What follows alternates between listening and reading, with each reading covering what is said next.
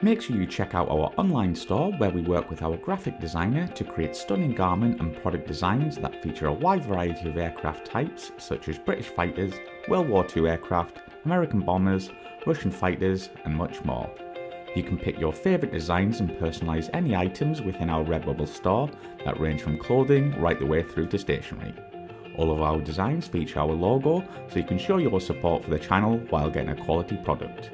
You can head to our website aircrewinterview.tv and click store or go to redbubble.com forward slash people forward slash AC interview.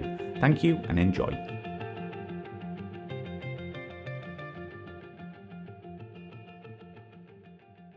So, Steve, when did you first become interested in aviation? Um, Mike, I grew up on a farm um, in Rhodesia, which is now Zimbabwe, a huge farm, 32,000 acre farm. And this was in the 50s. And um, at that stage, the British bombers and fighters used to come down to Rhodesia and they would just fly low level over the countryside. Nice. And seeing these aircraft, you know, it was, it, I think I was about five years old. And that obviously triggered something. And I really wanted my, also on the farm, the, the farm owner, my dad was a cattle manager but the farm owner had a little Piper Tri-Pacer, and he sometimes used to take my mum to town, and I'd go along. Obviously, I was a little um, ankle biter at that stage, but I remember one of my first words apparently was upper, which was an aeroplane, or ndege, which was the African word for it. So that's when it started, man. That's when it started. And nice. from then I went on to uh, school. Um, I got more and more interested in in flying, um, in aeroplanes, and any the old Second World War aeroplanes but I think I might have sent you a photograph of um, um, J29 Saab um, and, and, the, and the one breaking away. And that was a trigger for me. I said, "That I want to be that guy in, in the jet fighter. yeah. and I was 15 when the Hunters arrived. And of wow. course, that was, I was, I, I, want to fly one of those. Um, yeah. And that, at that stage, and we're sort of working towards that. Yes. So, can you talk us through uh, when you joined the Rhodesian Air Force and what the process was like? Because uh, I've never talked to a, a, you know a pilot from this country before. So, what was the process like going through to be an officer or pilot? Yes. Well, um, Mike, well, I actually started off as a as a technician. I didn't have the qualifications, and it's not a. Uh, I've heard a lot of your interviews with. Um, um, you, people have to go through university and that type of stuff. With us, we just had to get a good O level, um, mainly in English uh, and physics and maths. Um, I didn't actually qualify that to us. So I joined as a technician. I was still wanting to fly, and I was an instrument fitter. So for two years I went through the training, and then two years I was on the squadrons, and I only ever actually worked on the Hunter and also the Hunter simulator. And while I was going through that process, I then applied, and it took me three goes um, before I was accepted. Wow. And um, but that's basically how we went. We were straight from school into a, a, cadet program. They had a lot of people apply, and then the course went from there. And from then it was fairly standard, I think, with most courses. We did about six uh, six months, six weeks, basically, um, uh, sort of foot soldier and that type of thing. And then started our our, our uh, proper lectures, and then the training started. Flying started at that stage. Yeah, so can you talk us through some of the flying training and what aircraft did the Air Force have at the time to get you up to speed to go into the front line? Well, we had the we started off with the piston provost. That was our training for six months. We did about 110 hours on that, and then we went on to the Vampire T11, nice. and that was another six months on that um, uh, training. And then from there, we all went to OCU. Uh, some people call it OTC, but Operation Conversion Unit and we did our bombing and, and gunnery and rockets on, on that. And from there, um, everyone then split up. Um, and that was the end of our training base, the end of the OCU. Um, we had we were a small air force, and we tended to fly everything. And initially, um, I was uh, most guys who were going to go to fight stayed on the Vampire, and um, then um, the other chaps went to our sort of we had at that stage, we used a provost for um, forward airfield control and close support. And then sh- uh, shortly after that, some guys would go to helicopters. Uh, Jenny wanted a bit more experience. Out of the blue, a friend and I, uh, we came top on our course. Uh, on the flying side, we went straight to hunters. Nice. And that's another story in itself. Yeah, and we're going to get into the hunters in a bit. Yes, but um, yes. Did the Air Force uh, was the the frontline aircraft uh, in the fighter world the hunter at that time for you guys? It was, and the Vampire. The Vampire was a more of a um, uh, both of them ground attack primarily. Um, and uh, the Vampire T11, we never at that stage we weren't using the single seater because it didn't have ejection seats. And before that, they, they, used they had a single seater in FB9, and later, uh, towards the end of the Bush War, they went back to single seaters with FB5s, but also without an ejection seat. But wow. but to answer your question, it was the T11, and the, the, we had at that stage we when I was when I went on to that we had 11 hunters, and vampires probably about the same number. So yeah, t- talk us through when you uh, went through your training and said you've been selected for hunters. That must have been an amazing moment for you. it was a big surprise, a huge surprise, Mike, because we didn't have a two-seater. And the way that the training, yeah, the way that the training went at that stage is the guys um, would go out into the squadrons, and because we flew everything, we had cameras as well for our bombing role, although they did put rockets under the nose for them as well. But we had, uh, we had, which caused a couple of problems with cracks later, but still, um, the chaps tended to fly everything for, for, until they got to sort of flight lieutenant stage, wow. uh, and perhaps late flying officer stage, or we um, air lieutenants we call them. Then they'll come back to the hunter with a lot of experience. And the way um, that my friend and I went on to the hunter, it was um, it was obviously very exciting because I was expecting that at the end of my career. That was my ambition, and here I was going straight. There was a there was a reason for it, which we'll come to. Um, but uh, we went straight to the Hunter after you finished the OCU virtually, and the simulator was broken. So we couldn't fly for, we couldn't even fly for six weeks. Wow. And then it was straight from the Vampire with its meager acceleration and then onto the Hunter. One of the things I'd had, I was fortunate in that I'd worked on the Hunter for a year as a, as a technician on the Hunter simulator. And I'd actually learned to fly. It was a horrible thing to fly. It was very good for procedures, uh, but I had a fairly good knowledge of the workings of the hunter anyway. But still, we had to wait for the six weeks. And then we went on to, um, did our simulator training. And then we went in, onto the, the, to fly it. And that was interesting because I've noticed that some of the chaps talking on your interviews, um, they didn't have a two seater. They would go up with a buddy um, who would fly with them and then talk them through it. Mm-hmm. Well, based on our experience with with Rhodesia, the chaps had come straight onto the hunter and they sort of tapped you on the head and said, "Away you go." they didn't have a chap in the tower. The, the, the uh, instructor was in the tower. But um, yeah, going out, it was just an unreal feeling to be because the, the vampire, you were quite entombed in a T11. You know, it was the first ejection seat you sat forward. You had the canopy down here, and being a tall fellow as well, everything was rather cramped. But then to sit in this canopy back, taxiing out on the taxiway, it was exhilarating, you know. Mm-hmm. And then when the power going up, and then this boost that you got for the hunter, yeah, it was amazing, absolutely amazing. The, one of the guys mentioned on takeoff in the hunter this waggling in the wings, because the hunter was very light on the controls. And, the, and everyone, everyone except the helicopter pilots of the Alouette all waggle the wings. Well, I think I waggled mine a lot more than the rest. it was very light on the controls. Yeah, yeah, but it was amazing. Absolutely. And uh, what marks of the Hunter did uh, the Rhodesians have at the time? We had the FGA 9. They were, um, yeah, they were upgraded F6s um, to FGA 9 standard with the strength and under, uh, for, for ground attack and all that. Uh, and um, well, basically, it was an F6 with uh, with extra ground attack capability, virtually, if you want to call it that. Yeah, so it was, um, and they were all. I think I don't think we actually got a new one. They were all reconditioned from the Royal, Royal Air Force. Mm-hmm.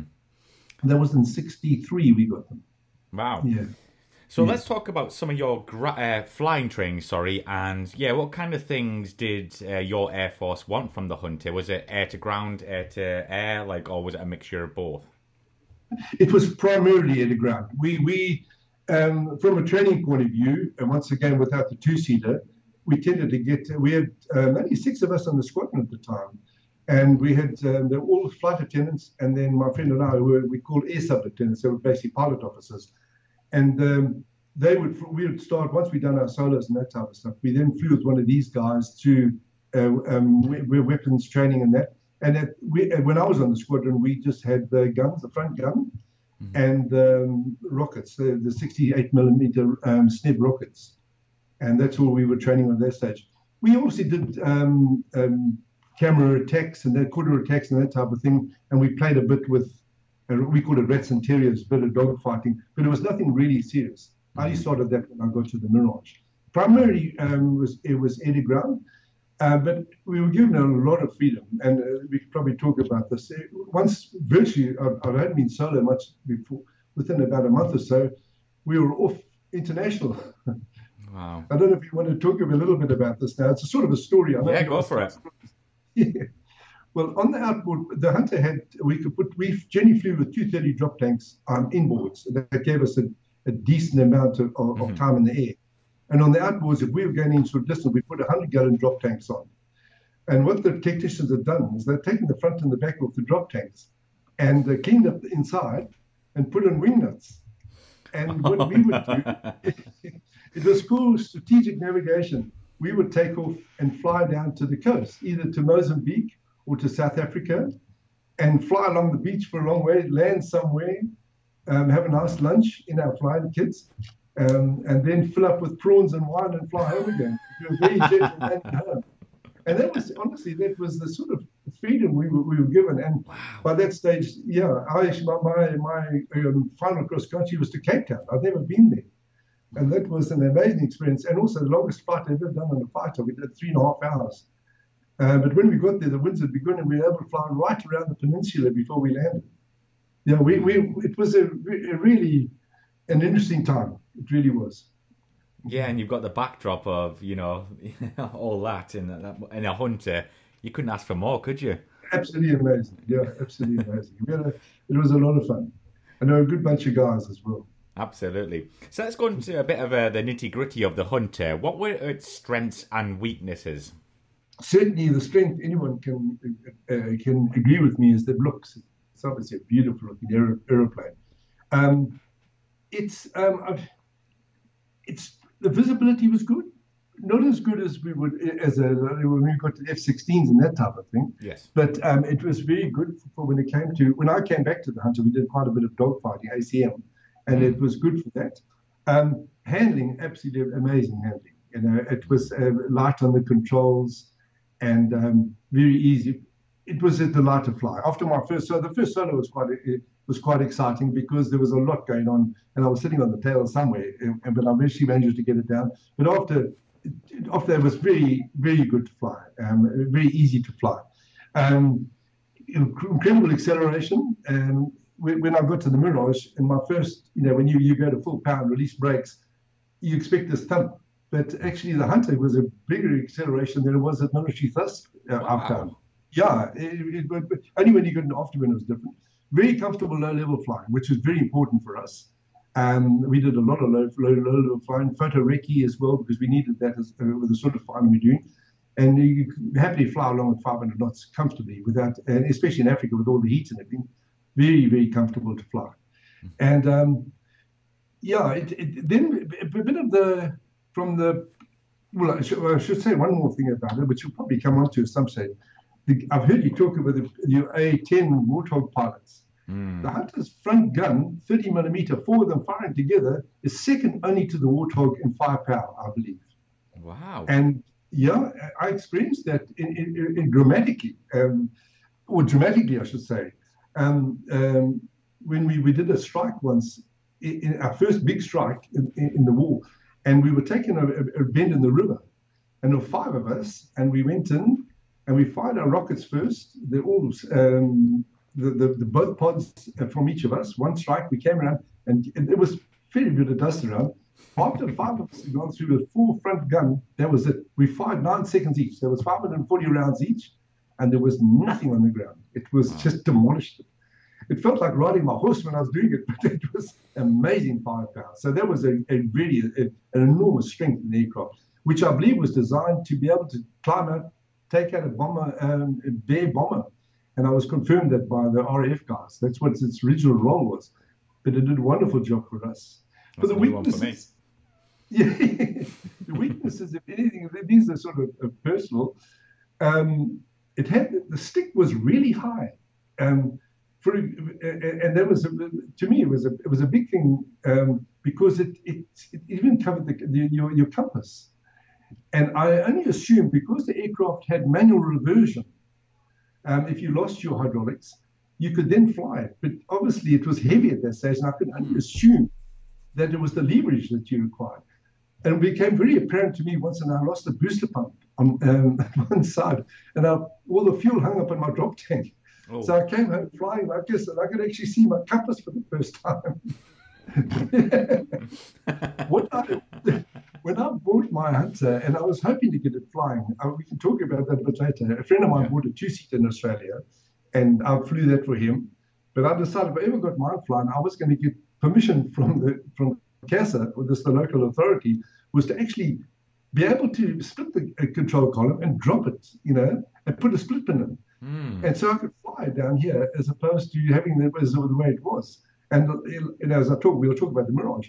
That's how it was. And then if, if I lost my control, my my power controls, I could take it up and put the pin on the top. Anyway, that was to me was it was a weakness. The second week was was a lot more dramatic. Uh, we lost one hunter when I was a technician. Um, the guy was was just flying past the city and he lost all his fuel. Basically, just the fuel the gauges went down, wow. and it worked out it was a, a, metal pipe that went from the booster pumps to the engine, and that had burst. It happened a second time to one of our guys. He managed to dead stick it into to land much later. But I mentioned that again because when I came to fly the Hunter here, the two seater, it took seven years to restore it. And just before we flew it, I went to the engineer. We had one guy basically restored this thing. And I said to him, that pipe that goes from the booster pump to the engine, that I'm feeling as a weakness. He said, come with me. He showed me the old one. He put a new one in. So they obviously realized. so that was a weakness. But other than that, um, the cockpit layout, um, uh, people have spoken, perhaps spoken about that. It, ergonomically, it was a nightmare. We bought some from Kenya later. And the, uh, the chap who came, one of the, the majors in the Kenyan Air Force came up to me. He said, Do you fly? You come to get the hunters? I said, Yes. He said, I love flying the hunter. He said, But what are they doing? You've heard the story before. They got all the instruments and threw it over the shoulder. Yeah, wherever yeah. they landed, that's them. Because yeah. he was flying the he was flying the F5 Tiger. And that's oh, just an yeah. example of that. We only had an ADF, only navigation equipment we had on the our hunters was an ADF. And it was one of those coffee grinder ones. Mm-hmm. And it was way down the back here on the right. So now you're in bad weather. You've got to take your hand off the throttle, off the control column, put your hand off the throttle, and then wind this thing up to get the you know. So that was anyway. That was that's by the by. But the, the the strength far outweighed the weaknesses as far as I'm concerned. Yeah, I've heard that many times. But uh, you kind of mentioned uh, DACT BFM there. How did the Hunter fare in that kind of environment? we the only time we really got to do that, we, we didn't have much dissimilar. And only, I never experienced it with the with the Mirage. When we used to fly down once again on one of our jollies down to South Africa, we were sometimes attacked. Well, I was never in that situation by the Mirage, but they'd never get in with them because they tried to come down to the hunter speed. The hunter could turn beautifully. Mm. And only later, when we did a lot more, having come back from the Mirages, we learned how to fly, uh, to fly the hunter to its best capabilities, which Jenny was just into the buffet and she did very well. We had a, we had a chap join us from the Singapore Air Force, and um, yeah, they'd also done very well with the Hunter flying. As long as you, if you were in something like a Mirage, you would want to, you wouldn't want to get anyone near one because would turn out turn you for sure. Mm-hmm. And eventually, the guys had, had had missiles on them as well. Yeah. So they did pretty was, well. Uh, yes. Um, but uh, yeah, let's talk about your first squadron. Uh, what was the? Where were you based? And uh, yeah, what squadron were you with? Yeah, the, the, the, we only had two bases. One was in um, in now Harare, and there was New Sarum. I assume there's an old Sarum in England somewhere, mm-hmm. or a Sarum. And we had Thornhill, which was in the middle of the country, and that was our fighter base basically. We did the training there, and we were and the hunters and the vampires were both based on in in Thornhill. And from Thornhill, we could go anywhere in the country with fuel. And also, um, we had bingo lights at 650 pounds a side. And if those went off while we were low anywhere in Rhodesia or Zimbabwe, we could climb out and get back to base. And that was a really good thing. And we, by that stage, it was becoming uh, towards the end, my end of the time in Hunts, we were doing a lot of border patrols and that type of thing. It was just lovely, low level flying, but you always knew very strategic for us operating from Thornhill. Mm-hmm. And that's where I spent most of my time as a technician, obviously, and as a pilot um, in the Air Force. Mm-hmm. Yeah. And was there like a, a QRA, like was it 20, uh, 24-7 kind of thing, like, um, you know, to defend the country? Yeah, it was. It, it was. We weren't on in the cockpit very often, or not in the cockpit at all, but not even in this crew. We had a two-hour to get airborne, um, and um, the, the, towards when I was in the squadron before I went to the Mirage, we did we did a couple of strikes. It got a lot hotter towards the end, but we generally had two guys um, ready to go at any stage uh, on call, call out. Mm-hmm. Um, and I, I, should mention at this stage, uh, possibly, um, that in our Air Force, by the time I got back to instruct um, after having been on the Mirages and flying helicopters, we were finding that the guys didn't want to, to be on jets anymore. When they were coming out of training, wow. they wanted to go to the helicopter. Yeah, because we had a very, um, I don't think we can I talk about that now? It, it will go on for a little while. Yeah, it, it might, yeah. No, yeah. absolutely. Go for it. Yeah. What was happening, we had a really um, very good way of dealing with uh, anti-terrorist type of stuff. We had a thing called a fire force, and it, it, operated around a, a, single gunship helicopter, which is the Alouettes, mm-hmm. with a 28 mil cannon sticking out side, and generally three troopers. So the gunship was the leader, and he had the three troopers behind with four troops on board. Now, the fire force also consisted, with, besides the gunship, it had a DC 3 Dakota, which 26 troops on board, which you could drop, parachute drop, and also uh, 336 uh, Lynx uh, push pull uh, Cessna type thing. It was actually the, the French one, the Reims. And he fly, flew above um, for close support and radio and that type of thing. And um, if the, the, the, the, the action got too hot, we had jets to be to call in, and that's where the, the, the call came from. Right. So now the, the chap running this whole show was basically the gunship pilot. He had an army guy sitting next to him who would once he would, once they got airborne and found out where the, the enemy were, he would then uh, advise the pilot where he'd like to put his troops down. Um, and and so that was his task. But quite often they were sitting going backwards. They were quite quite a lot inexperienced. And Jenny was the gunship pilot who pitched up into into action, sorted these guys out with the with the 20 mils, and then said to the army command, "Where army commander, where do you want your guys?" And he, he might be being sick or he wasn't quite sure, disoriented. And the, the Air Force gunship pilot would say, "I was with experience. We always had experience. I would like, I suggest one there, one there, one there." So he would put them down, talk the talk the pilots, the, the troopers in, the troops, and then if the action was was more than we anticipated, he would then call the DC-3 and drop troops at 500 feet. Now, if it continued and they were still firing, he would call up the jets. And the jets would, was, would take off, they'd be there within an hour. And when they arrived, the, the, the Lynx, or the, what do you call them, Lynx, was a 336, would put under, under direction of the gunship pilot, put in napalm or something like that to, to, to uh, in, in sort of uh, uh, show the target. And the hunters or the campers would come and boom and go home.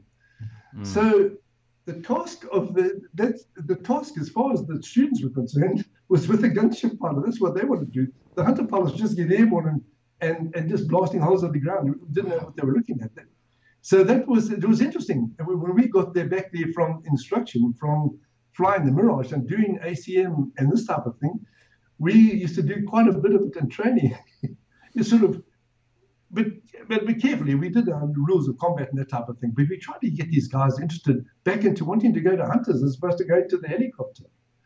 As I've heard some of you guys talk about, when, when people graduate from from from flying from flying, it's generally fighters, bombers, transport, helicopters.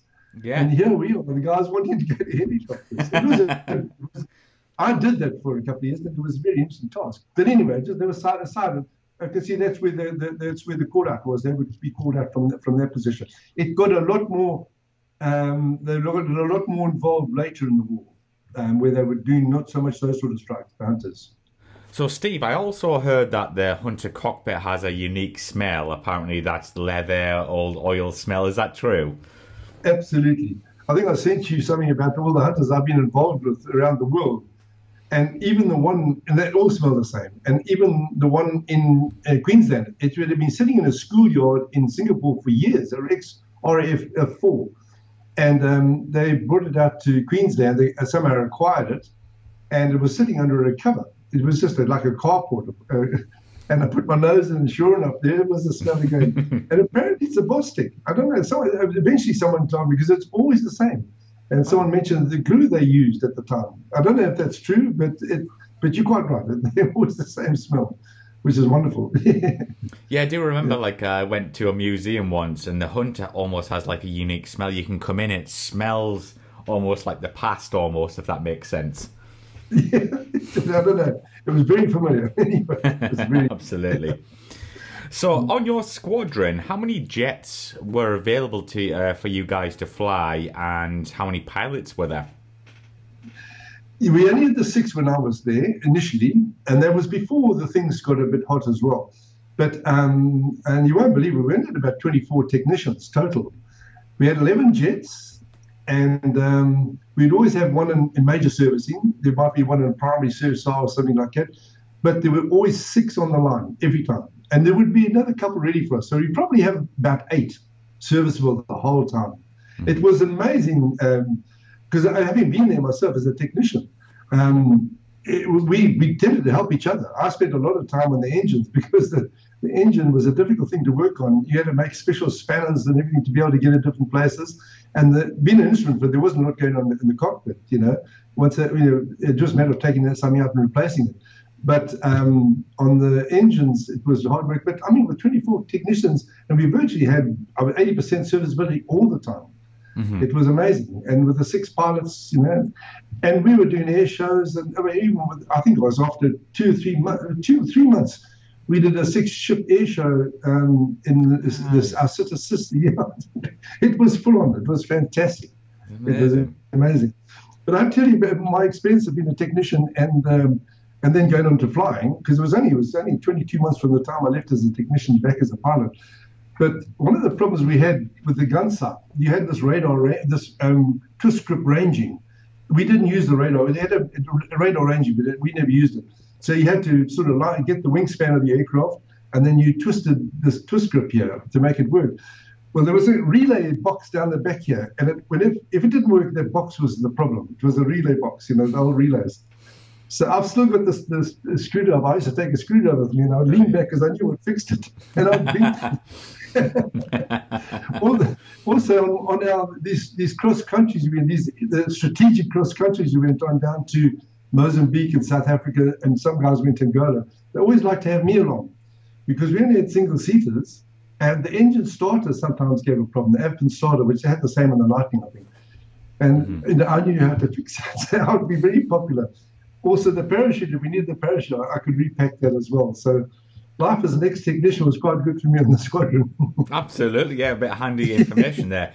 Uh, but actually, like on a side note here, did uh, the Rhodesians like did they upgrade the engines, or was it the standard straight from the F6 uh, up to the F9? Was it, or did you make your own? No, it was a, it was a 207. We had at one stage. Um, we obviously with sanctions and all that stuff, we couldn't get ma- many spares, mm. and we happened to acquire some from um, uh, from Oman, in fact, I think it was at the time, um, somewhere up in the Middle East anyway. And those were, were slightly modified. The 206s, which meant, um, for example, with the 207, it was off the F6, I think. Uh, with the 207, we could go up to 8,000 RPM. That was our maximum. Mm. With this engine, it was up to 7,800. Didn't make a lot of difference, I must admit. That's we had that towards. While I was still on the squadron, we had them. Yeah, that was the only difference. But we never modified them. So what was interesting though is that because we couldn't get spares from or anyone from Rolls Royce to help us, we used to send them back to Rolls Royce before the, the before we declared independence. And after that, of course, they shut everything down. So they built an engine shop, and, and, and the whole engine shop. And I've got one of my friends here in Perth used to work in them. They split the whole thing down. Oh, wow. Only thing that, yeah, the only problem is that I think they also worked on the FCU, but that was a sort of sealed unit. And I think as long as it was still working, they didn't play with it too much. But the engines themselves, um, they, they split the whole thing. And the Rolls Royce came out after independence, Zimbabwe independence and said, oh, you guys are doing fine, keep on going, sort of thing. You know? the, the guys did a really good job.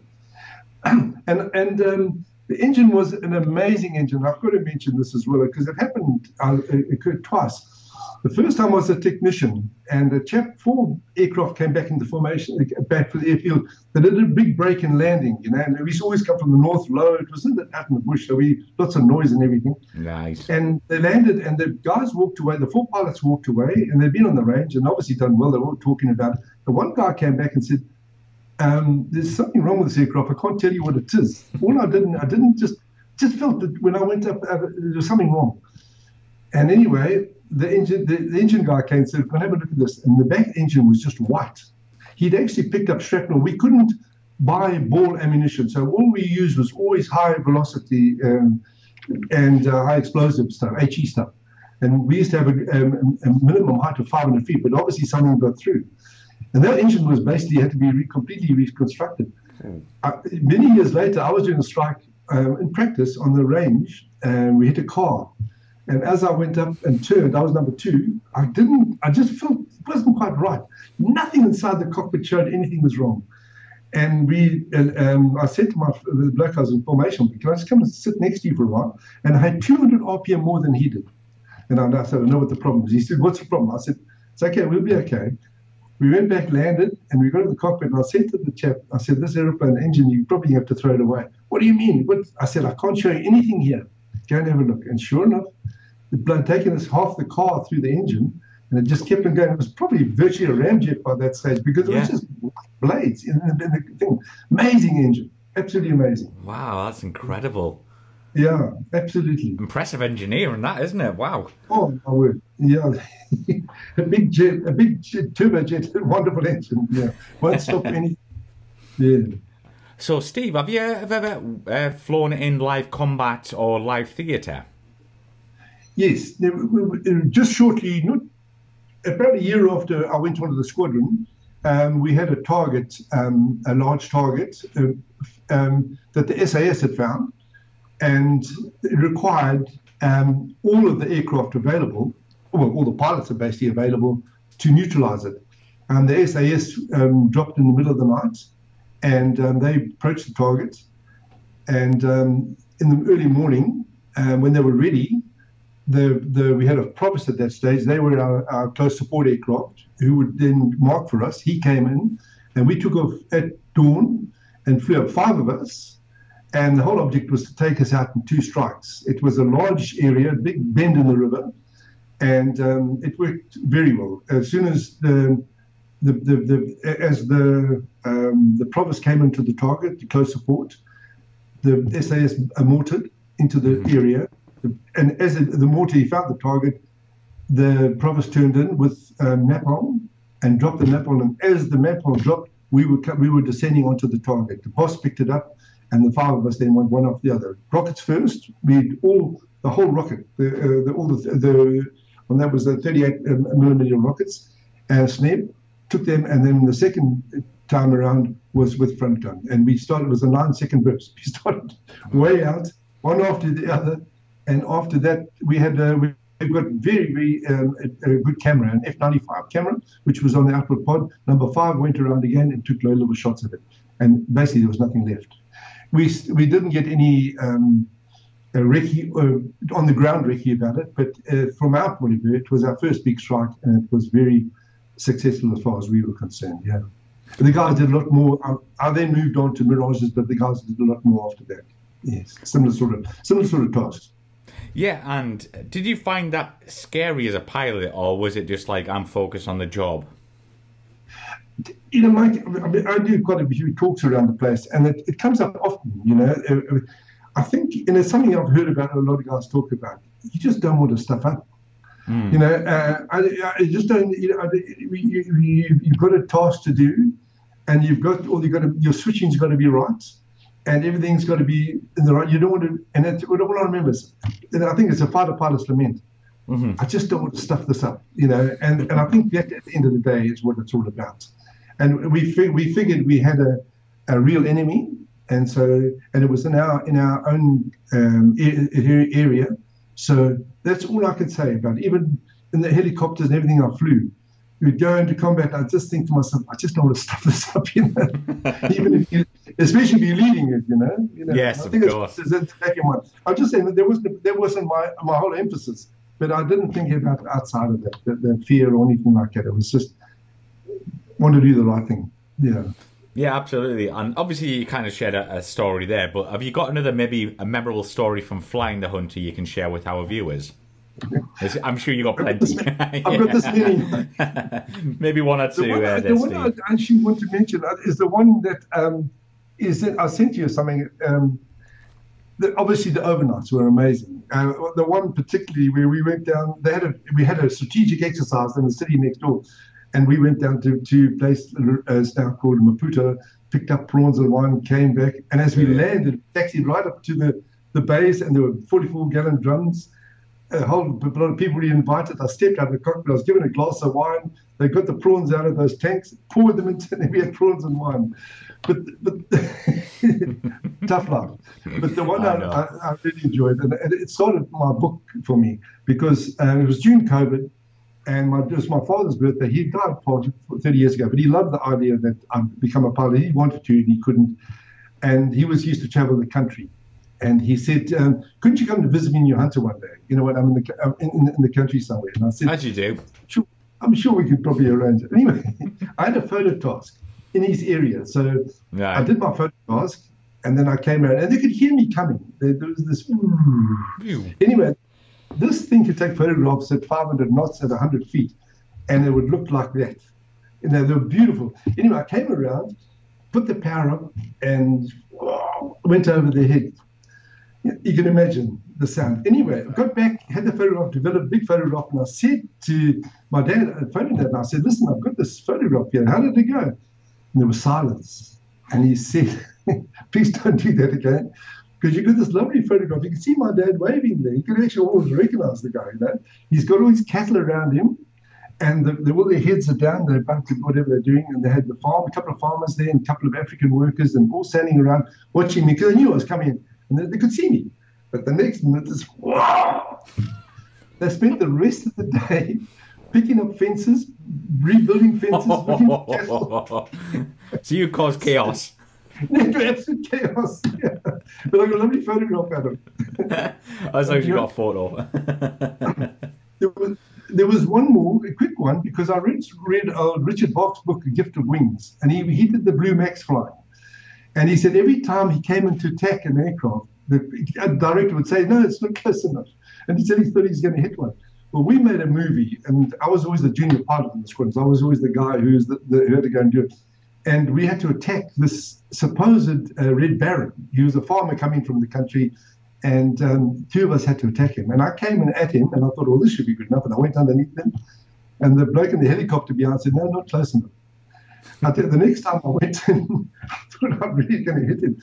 And when it comes out, it still doesn't look close enough. But the, the chap in the, in the target was, oh, he laid into me on the ground. He said, wow, I thought you were in the, the, the jet wash and everything. Wow. So that yeah, he thought it was really close. Anyway, but when you see the photograph, it's not so, you know, not as close as you would, would imagine. Wow. Yeah. I mean, there's some great stories. I love the prawn and the wine one. That's great. what a story! It's such a, it's such a fighter pilot thing to do, which is great. But uh, yeah, Steve, how many hours did you actually get uh, flying the Hunter? Not all that many, actually. I've, uh, I've flown it in various times from from then until now, but probably only about 350, 350 hours. Is that all? But, uh, it, it's yeah, but I mean, I hear guys talking about 7,000 hours and 6,000 hours. Oh, yeah. Well, I'm happy I've got uh, I've got 45 minutes on a chipmunk, uh, so I, I, feel like I, I, want a patch and everything, but, uh, I can't no, get one. Was, but I was fortunate, still, still speaking of Hunter, having flew, flew, flew it then. I came back and flew it I left, before I left the Air Force. I flew in Somalia on a, another story. And then I got to fly it here in, in Australia, you know. And um, technically, there's still one, one waiting for me to fly the same one again that restored it again in Australia. And I've either got to can fly it or I've got to ride in it anyway, because I gave them my electric starter mode for my Hunter. So it's been yes. with me all my life.